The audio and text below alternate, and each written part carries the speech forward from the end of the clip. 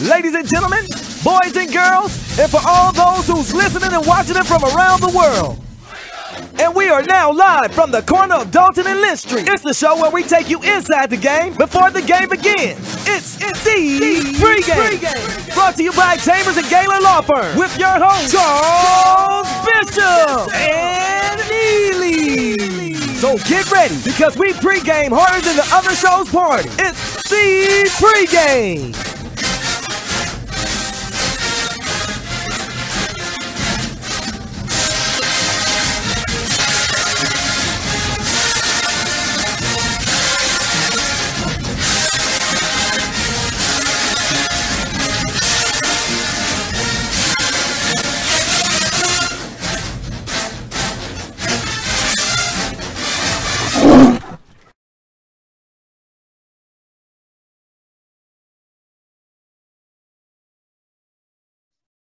And welcome into another episode of the pregame show. Charles Bishop here with my bespectacled partner, Neely, here on the Black College Sports Network. Neely, welcome back in, brother.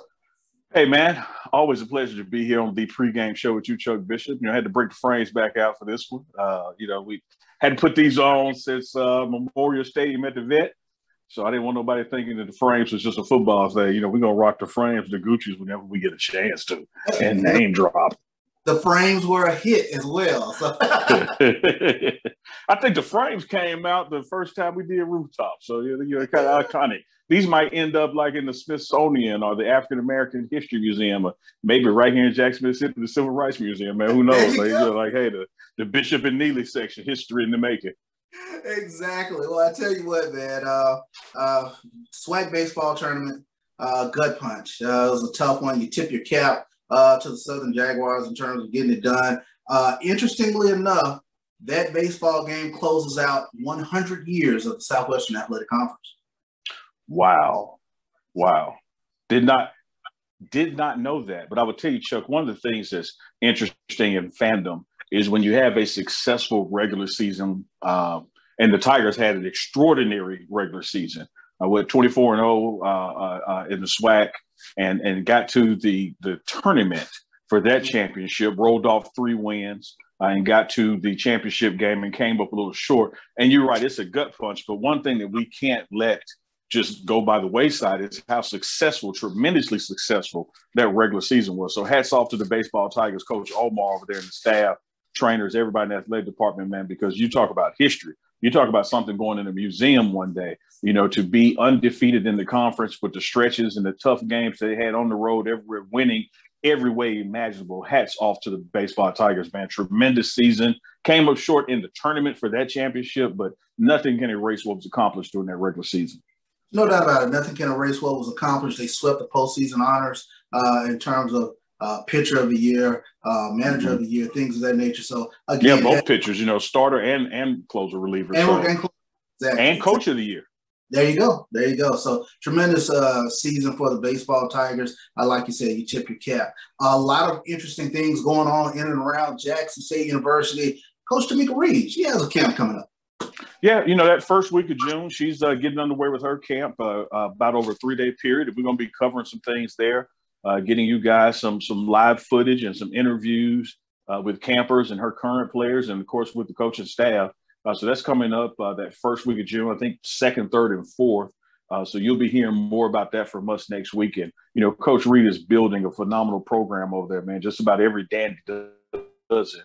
You know, she wants to get all 12 of them and it's just about done it. Uh, so she's bringing in high school high schoolers, excuse me, and up and coming players. Uh, some that have signed with us, some that you know that are, are just out there trying to develop their their skill set. So it should be a tremendous camp uh, that first week of June. First of her her two camps this summer. So uh, we'll be bringing you some stuff from that uh, the Lady Tigers basketball and the women's basketball program. Lady Tigers basketball, and then following that up, Coach Prime, of course, has his camp coming up uh, mm-hmm. in, in June as well. Yeah, June 19th, Saturday, June 19th.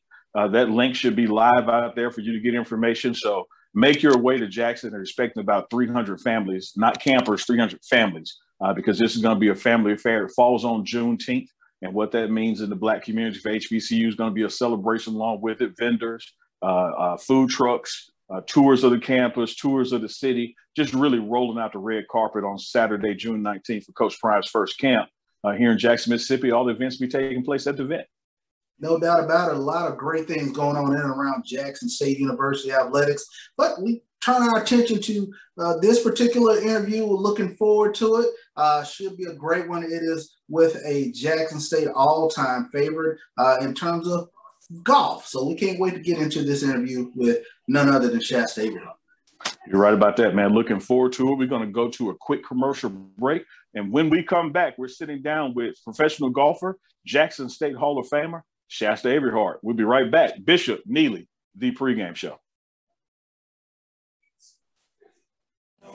They don't dance no more. Yeah, uh, yeah. Get it, it, run it, say it how you want it. Leave it when you finish. Left it, dress it up and made it seem sweet. Like a beach in Martinique. Back up on their feet. Set it straight for the 9-8. License plate with a triple A. All the. Who's that peeking in my window? Nobody Nobody now. Who's that peeking in my window? Pow. Nobody now. Who's that peeking in my window? Ah! Thank you guys for what you do for HBCU athletics. This is a fantastic avenue for, for, for all of us. This is our ESPN. So we, we, we, we love what you guys do. Brian, AD, Roy, all you guys at BCSN. We really appreciate what it is that you got you guys do for us.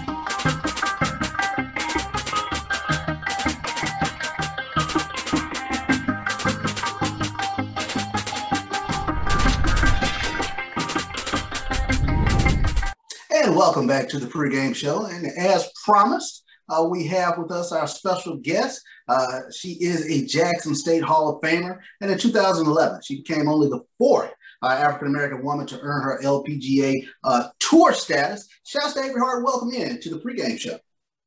Oh, thank you for having me. I'm excited to be here.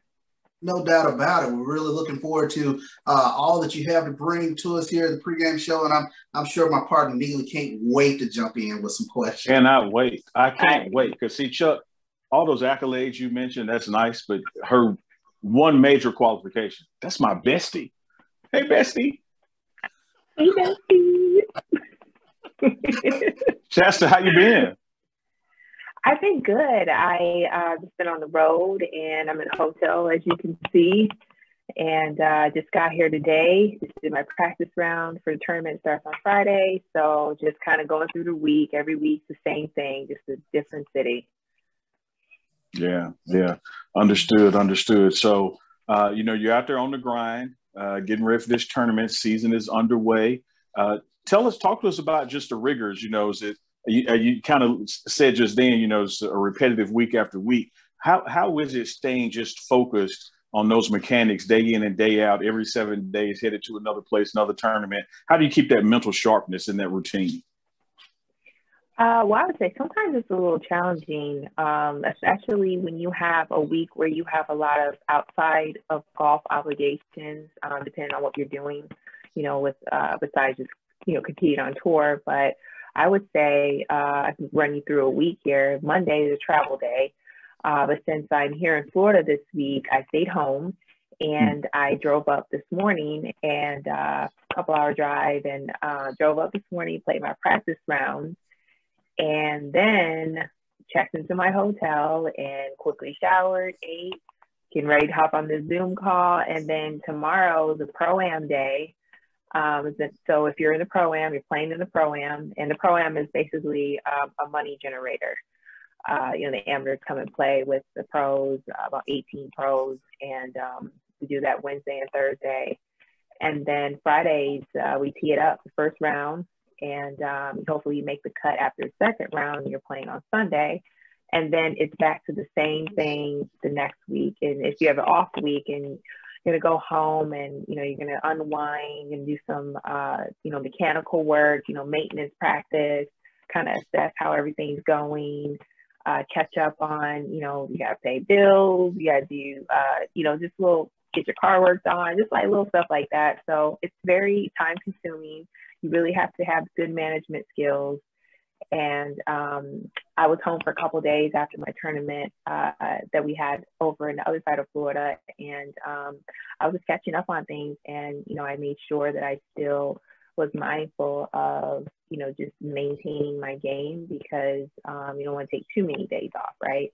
Mm-hmm. Mm-hmm. You know, Shasta, I wanted to ask, and you mentioned kind of uh, how uh, the work week looks uh, for, for a professional golfer, but uh, estimate how many swings do you get up during the course of the week in terms of uh, practice and you pro am, and then uh, you mentioned uh, once you get to Friday, it's tournament time. When you say swings, you mean like actually like how many swings I have made up until Friday? Yeah, I'm just always been curious uh, the yeah. amount of work going into uh, uh, tournament day? Well, I honestly wouldn't be able to count because it's so many of them. yeah.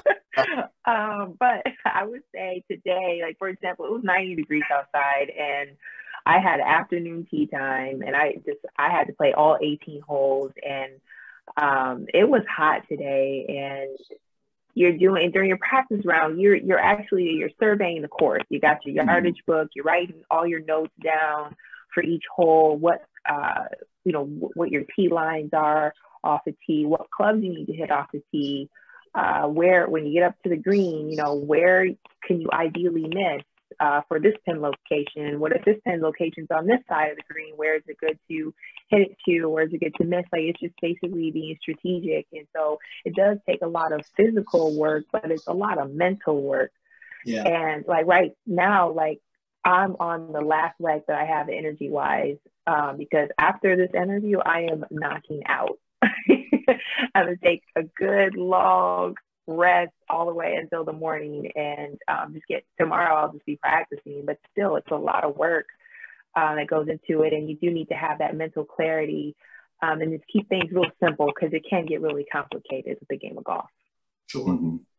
You know, uh, golf wise, when you talk about that practice round and note taking, how long does that generally take? Like just the, the speed of play during the practice round with the other pros out there doing the same thing. Is there a set amount of time that you get on each hole for note taking before you got to keep it moving for the next person, or you just out there skipping around hole to hole? How does how does that function work? That's a good question. Uh, so generally, the round should be uh, four and a half hours uh, for 18 holes, and so you got two hours 15 minutes uh, each nine holes, and so we kind of gauge it like we, we kind of know like you know 10 to 15 minutes per hole. And mm-hmm. if you see that like you feed off you're in the fairway you hit up and let's say your first group out. And so you get on the green you're hitting extra putts you're hitting extra chips sure. to kind of get the feel. And you see the next group behind you coming up and they get to their ball and they're starting to get their numbers together. It's like okay like we got to clear out and we got to go to the next tee. So we're just really mindful and courteous uh, to one another uh, and to try to be respectful because it, it can get pretty strenuous being out there for four and a half hours in the hot sure sun. sure and you guys seem you know i know other sports have it as well professional sports where that routine kind of becomes almost superstitious to a degree and anything that mm-hmm. throws off the routine plays on the mental so i was just wondering practice round wise you know how does that bleed over into the rest of the week that somebody made you wait during the practice round and that agitation, or to just kind of turn the page and leave it one day at a time?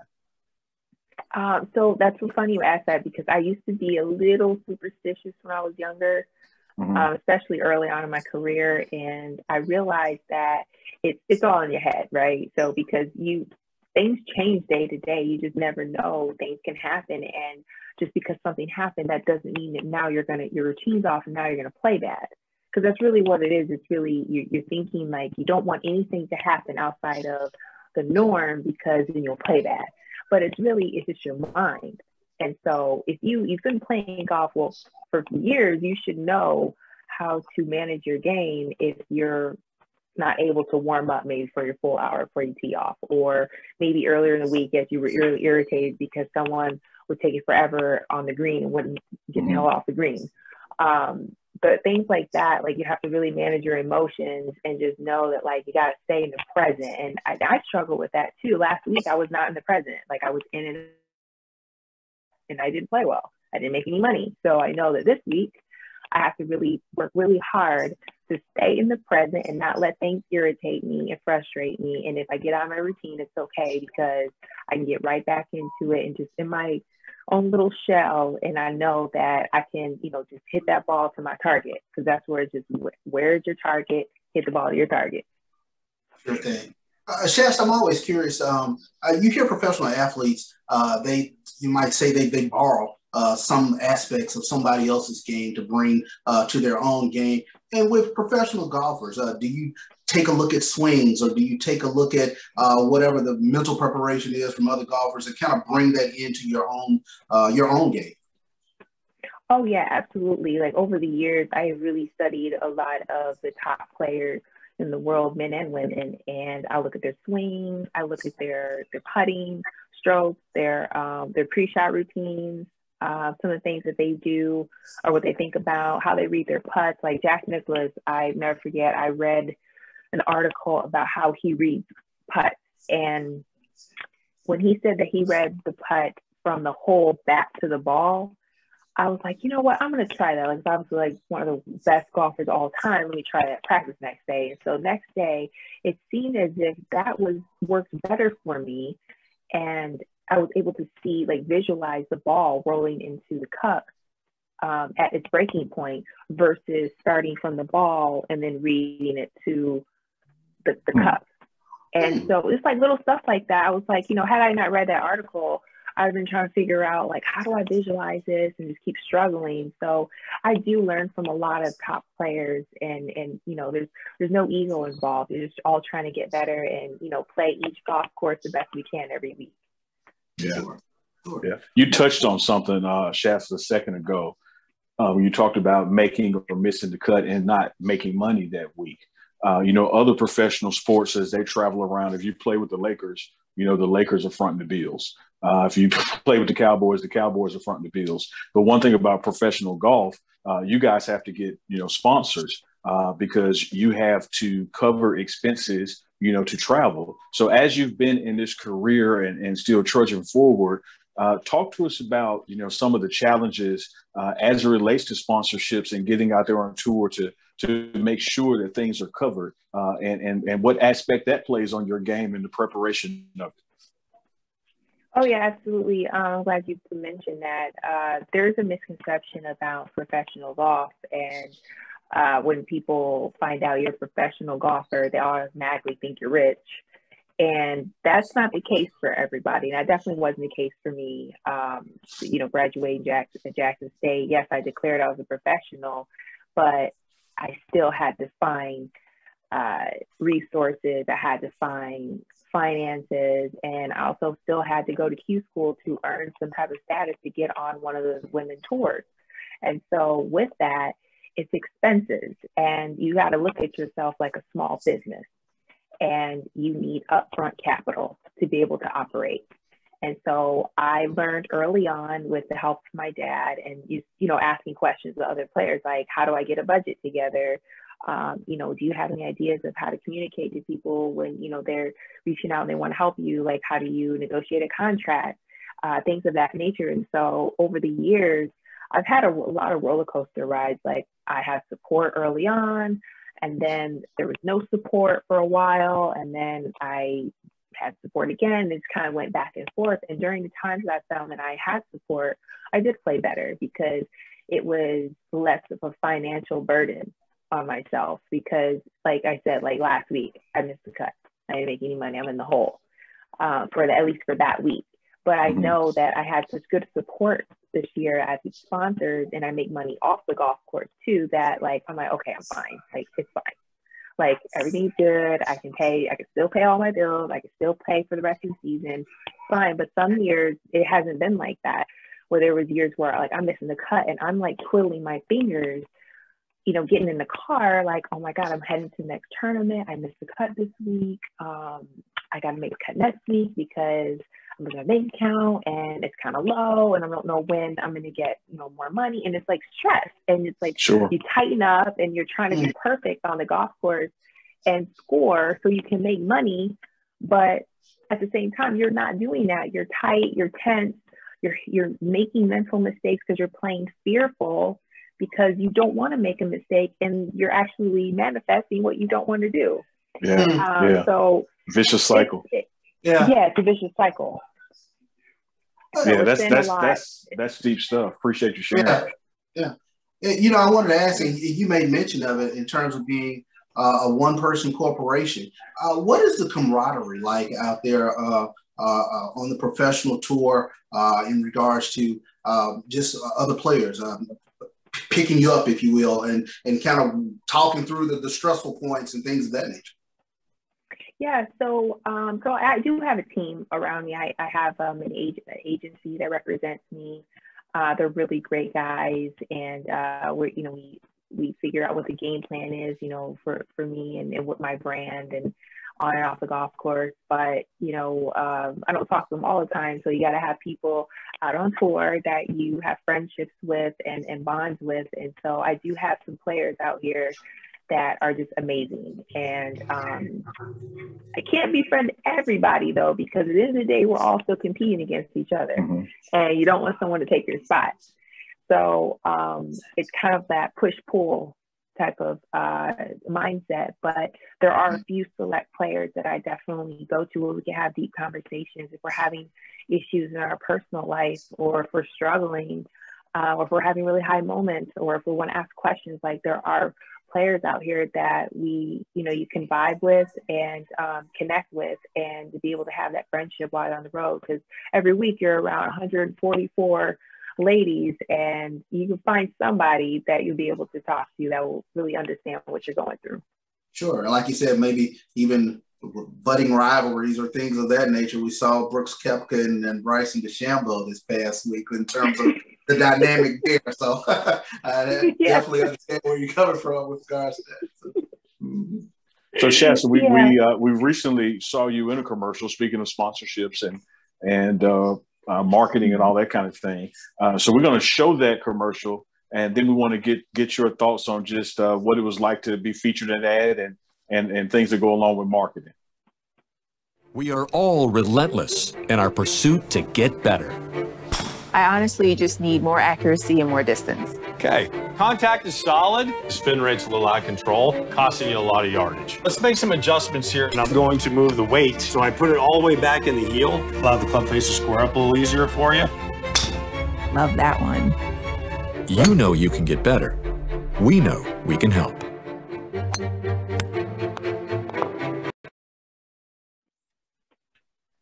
Well, when I first saw it, I was like, "Hey, it's a JSU Hall of Famer. I know her." what, what what was your impression? You know, I know you were there filming it, but the first time you Uh-huh. saw the finished product, saw you, heard your voice, what did what did you think? I was really excited. I'm normally pretty critical of myself, and I'm always going to find some type of flaw. I'm like, "Ooh, why'd you do that? Why'd you say it like that?" But overall, when I watched it, I was like, "Chef, this is a, you did a really good job. Like, you should be really proud of yourself."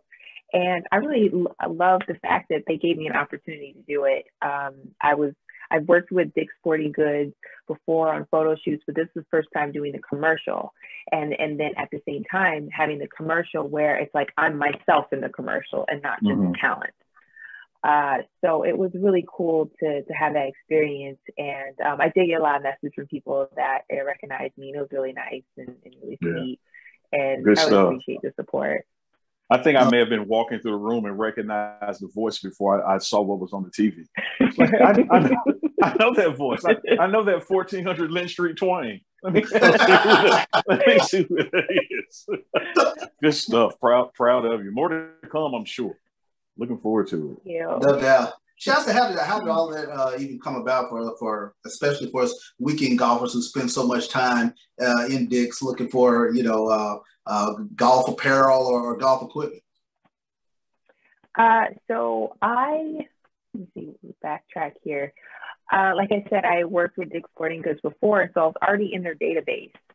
And um, some of the uh, production crew, I actually um, we, we follow each other on Instagram, so they always keep up with what I'm doing. And so uh, when it was time for them to do a big national commercial, uh, I was uh, a casting director reached out to me and was like, "Hey, can you send me your information for this? They they, they would like for you to cast for the commercial." And so um, I sent them my information and sent a self tape in and uh, took the self tape in. I, I think I was, I probably was at a tournament or something like that. So I was like against the wall, like hoodie on, like just got like out of the shower. I'm like, I heard him send this in. I was just super authentic. And I was, I was like, I feel like this is what they need. And so um, I sent that in and then I sent them some videos, swing videos, front and down the line views. And I get a call back and they're like, okay, they want to book you for the commercial. And I'm like, perfect. And so the timing was, was great because I was not competing at the time. I had an off week. So uh, we shot it in Fort Lauderdale at a, a Golf Galaxy store that they shut down for the day. And it was an all day thing. It was for two days. And uh, it was really fun though. The crew was amazing, and I just had a really good experience there. And um, it was fun, you know, just good experience, and it's something a little lighthearted versus, uh, you know, competing in competition, something not as stressful. So speaking of lighthearted, not as stressful competition, what a perfect segue. Did you did you read my notes? Like you just you just gift wrapped this for me. So you were here, here Shasta. We you you were yeah we, we we're here. You were here recently here being Jackson for Ashley Robinson's WC Gorden Golf Classic. Uh, you know, fundraiser for the athletic department that I know you are passionate about, particularly passionate about wanting to bring back golf, particularly women's golf. You know, Jackson State University. So know that's that's in your wheelhouse but I didn't I didn't participate in the tournament. You know, uh, my clubs are back there like rusty. But Chuck Bishop, he, he he says he's an avid golfer, so I am checking the post tournament results, and I see Charles Bishop closest to the pin, but I don't see Shasta Averyhardt. I'm something's wrong. I know that this is a typo, it's a misprint. So I didn't call you to confirm. He was like, "Yeah, some was in my eye," you know something my eyes, something bit me. Yeah. um, I actually can't compete in uh, little competitions like that because it's for amateurs only. Ah, so so, so technically, yeah, Tiger Nation, so Tiger Nation Charles Bishop did not beat Shasta Averyhardt. I probably would have. Now, had I put closer than him, I probably would have put like you know a little note on there like I stuck it yeah. close. I know I'm not gonna win it, but yeah, I just want to yeah, let you know that I did that. Little asterisk, I got you. You know. Thank you. I got you. Thank you for seeing so to me today. I appreciate it. Yeah. but just so you'll know, uh, he's been going around telling people he beat you. He don't tell them that you couldn't compete in that part. He's just saying, yeah, you know, I, I got closest to the pin, and and uh, we had a professional golfer out there. I beat her. Yeah. Mm. Yeah, you must, that's okay. You got sometimes you you just I know sometimes people need to, you know, boost themselves up and to really make themselves feel better about themselves, especially when it comes to golf, because golf is a humbling game. So, and it's also called karma. so I know the next round you play, you gotta be. Hey, honest. trust me, karma has already caught up with me. Trust me. oh, Good stuff. So, Shasta, while, while we're talking about JSU, you know, we've mentioned that you are a, a Hall of Famer. You were inducted to the to Jack State Sports Hall of Fame. Uh, talk to talk to our, our fans out there about just that process of not Hall of Fame Shasta, but just how you even ended up at 1400 Lynch Street. You know, how does a, a female golfer from way up north, we'll let you tell the story, get to Jackson, Mississippi? Um, good question. Uh, I get that question a lot. How did you end up at Jackson State? But um, the process we, my parents and I started was my senior year. I wrote down a list of all the colleges, uh, university I want to go to, and we just started sending resumes out, packets out, uh, with a DVD we made of my swing, um, speaking, like my tournament results, all that stuff. And so, please tell me you still have that DVD. My dad probably does because he keeps yeah. everything. We're gonna we're gonna play that on a future episode, so make sure you get that.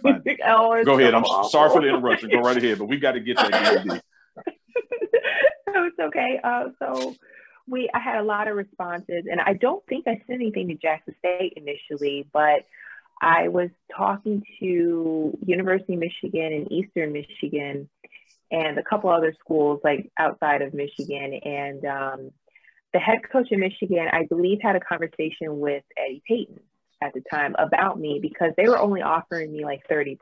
And the University of Michigan was so expensive to go to, and there's just no way we were going to take out a, a loan um, to go there. So, um, as much as I wanted to keep the legacy going, my father being a graduate of U of M, uh, we're like, we got to keep looking. And so, I, at the time, Kathy Teichert, I believe, reached out to Eddie and mentioned me.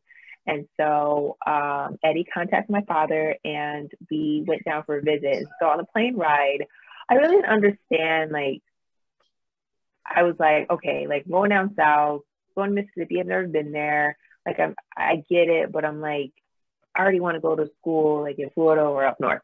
So we get there, and you know, we're touring around, and, and coach is showing us around. I'm like, it's different here.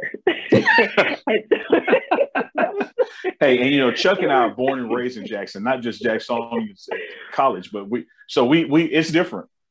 We it's get different. It. And I was like, this is such a culture shock. And it was so yeah. very laid back and it just wasn't fast. It was very slow paced to what I was used to. And so um, the thing is, though, I didn't know Jackson State was HBCU because I grew up in the Flint public school system, and the demographic was like anywhere 50 to 75 percent Black kids in, in the, the school system. So I was always used to being around Black kids at school. So when I saw that at Jackson State, I didn't put two and two together. And um, and also I was really wasn't familiar with HBCUs because again, like it was all my family, a lot of everyone went to school in Michigan. You know, there's mm-hmm. no HBCUs in Michigan. So uh, fast forward, I get back home. I'm like, I'm not going there. And he's like, okay, um, we need to talk about all your offers. And uh, 100% ride at Eastern Michigan, 100% ride at Barry University in Florida, or Jackson State, 100% ride. And so we start writing pros and cons lists, and I was like, okay, Jackson State's the one. Yeah, we're gonna have to go Jackson State. So because it was full ride, warm weather, we played really good uh, schools. Because um, coach actually made sure that we played schools outside of SWAC because SWAC wasn't super competitive. Mm-hmm. Um, and that was what I was worried about. Like I just wanted to make sure I was playing really good competition, but I was also playing. I wasn't having to compete with for a spot as well. So Jackson State just fit all of all the criteria for what I was looking for. So I signed, and when I went down to to, to Jackson, Dad helped me move in, and you know I'm there for the first week. I'm like, I still couldn't process like how drastically different it was because it's so fast paced up north. People are mean, kind of mean up north. It's just real direct, you know, and so it's just the opposite. And so uh, finally, in University Success class, um, they started talking about HBCUs, and I was sitting there looking and I was like, oh, this make a lot of sense now. Okay. I was like, I Wait, know Shasta, I'm at now. so Shasta, I'm giving you a pass on not being familiar with HBCUs coming out of Michigan. I'm yeah. giving you a pass on that. I'm I, giving you a pass on even when you got to Jackson and toured the campus that you still didn't really click. But it took it you getting click. all the way to guidance. What was guidance when Chuck and I were school to university success for you to go yeah. like, Oh. oh, it makes sense now because to me it seemed normal, and yeah. um, it, so it just. I mean, it sounds silly. I'm sure it sounds silly, but it's just the truth, and that was where I was at at the time. And so, yeah.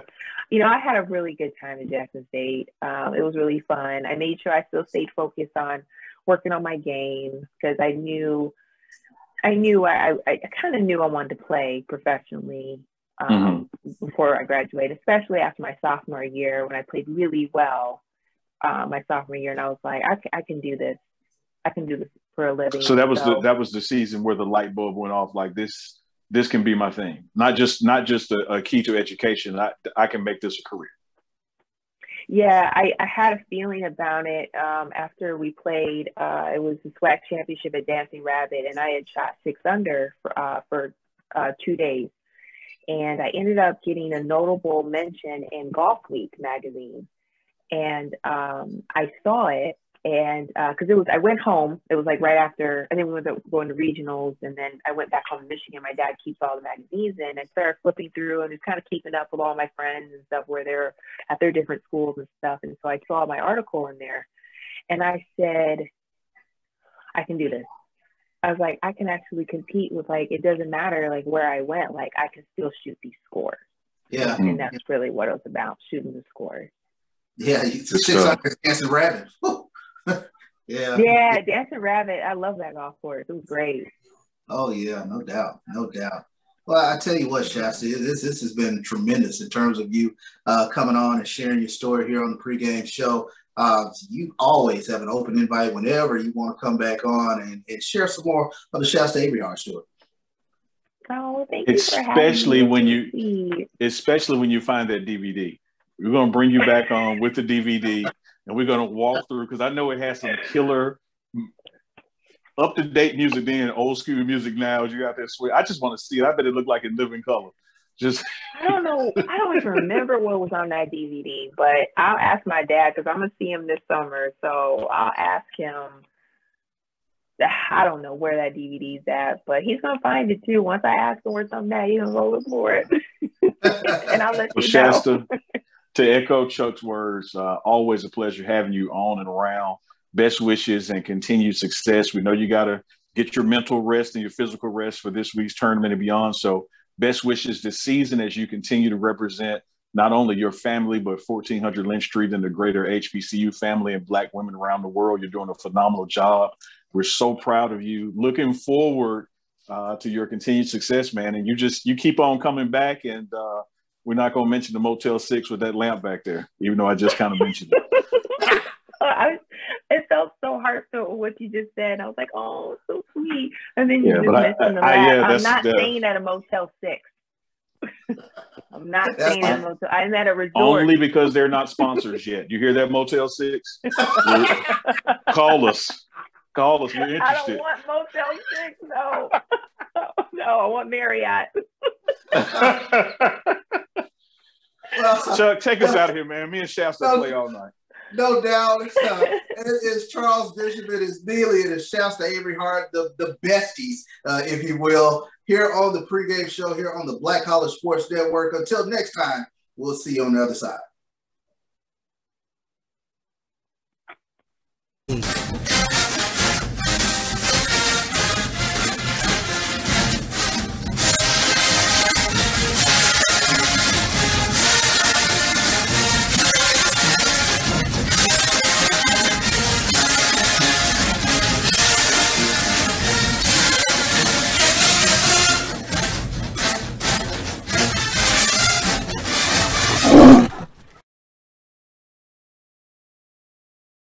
Shasta, something I've been dying to know because uh, I, I told you my rusty clubs are behind me, and you don't want to know which clubs I have to use for each distance. But I'm trying to figure something out.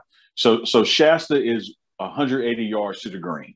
We're not factoring wind or uphill or that, no lie or anything like that. 180 yards out. What club does Shasta use?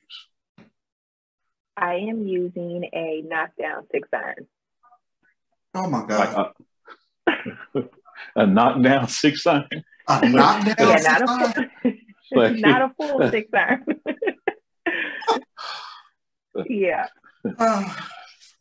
Because she, oh. I don't know what else you could have done to further emasculate Chuck on this episode than, than to say that you use a knockdown six I mean, I could I could say swing an easy six iron. That's essentially the same thing. Easy six, not a like rip six.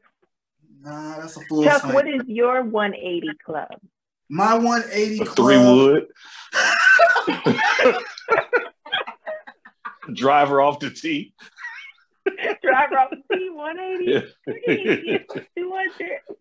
Yeah, I, I mean that's that's that's uh, getting all of it too, Shasta. Yeah, like... I'm probably going hybrid of some sort or a five iron. Yeah, yeah, you okay. Know. Yeah, thank it's you. Not, it's still not. It's not bad. Um, well, I can, I can make it right better. Here. I can make it better for Chuck and tell you mine. One, my 180. My my 180 is uh, a pitching wedge twice. yeah, I'm, I'm 180. I'm laying up. Like, okay, let me, let me just let's 90 90 this thing. YouTube pitching wedge 90 yards. Yeah, I mean that's getting all of it. that's all. Oh boy. One A pitch and eighty- wedge I did say 180. 180 is whew. And that's, is an easy six. Two. Oh god. All right. Easy six, yeah, is a full six is one eighty seven. Not 186 and 187. Okay. Yeah, one eighty Oh, seven. yeah. Dialed in. Yeah. And that's like all carry chuck. That ain't that 160 and roll 20 that you With the bounce. Yeah. That- With- with that's, with that's the not that stick that's not that 180 going down the cart path that I do. That's Good not, stuff. yeah, Stuff- that is firm good stuff. Shasta. Yeah, yeah. Good stuff. Thanks. Thanks, guys. That was a good question. We enjoyed it. We'll plug that in somewhere. Bonus footage. Ladies and gentlemen, boys and girls, and for all those who's listening and watching it from around the world. And we are now live from the corner of Dalton and Lynch Street. It's the show where we take you inside the game before the game begins. It's it's the pregame. Brought to you by Chambers and Galen Law Firm with your host Charles Bishop and Neely. So get ready because we pregame harder than the other show's party. It's the pregame.